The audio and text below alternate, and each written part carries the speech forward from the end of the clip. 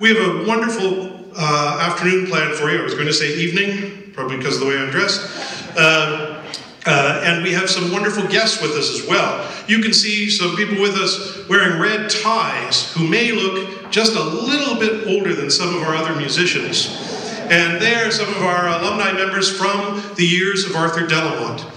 Uh, the reason that we're doing this concert in honor of Arthur Delamont, he's no longer with us, he uh, hasn't been since the early 80s, but it's very important that we don't forget our history. All of these musicians that are currently members of the band are connected to that history. As we go into September, we'll be starting our 85th season. This is a long tradition, and we mustn't forget everything that came before us.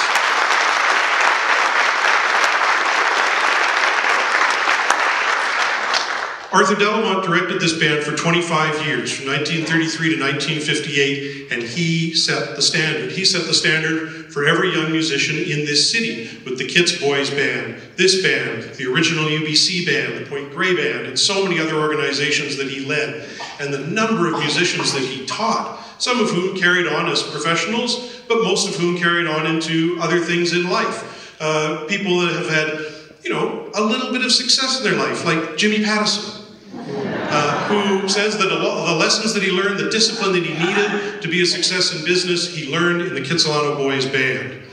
So Delamont taught a lot of things besides just music. The reason we're doing this concert now is, as Cynthia mentioned, I'm catching up. I'm finishing my 23rd year, and I wanted to make sure that we did this concert while we can still say that he is the longest serving conductor of this band before I tie him. and checking my pulse and hopefully pass him, maybe. We'll see. So, um, carrying on, the next piece we're going to do, and by the way, the music that I've selected for this, it's not necessarily music that was part of the history of the of the Kits Boys Band, but I selected pieces that reflected the styles of music that Mr. Delamont liked. I, I never got a chance to meet him, but I've heard many recordings, and I've heard even more stories about the band and the music they played. Certainly, a march like that uh, Holst March he loved to play marches, and it's tradition to open a concert with a march. The next piece is by Charles Ives, uh, a wonderful American composer. Most of his music, sadly, has been lost uh, over time, but this piece exists intact, and it, in, it includes a brass sextet who are coming on stage now. And